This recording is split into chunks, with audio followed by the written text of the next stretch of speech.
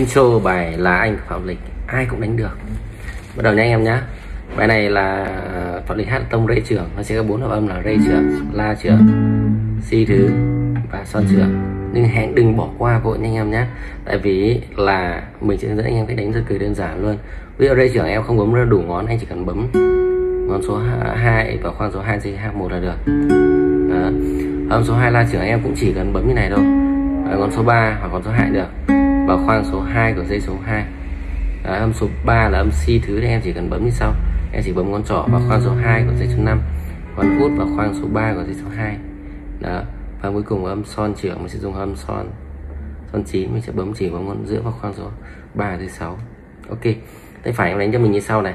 Đây phải mình sẽ đánh cho mình 8 lần là bát và dây 1 nhé. Bát. 41 41 41 hay lời 8 này chuyển này. Tiếp tục này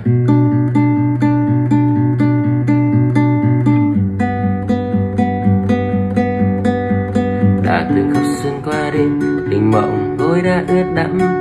Ngày em như hè qua từng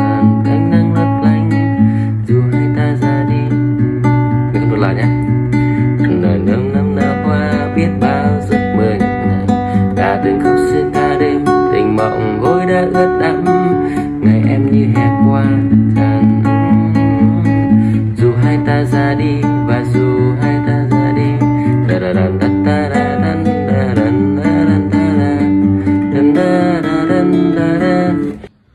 Edit đến đây mình phát hiện ra mình chưa có phần 2 anh em ạ à, Anh em follow kênh mình để xem phần 2 nhé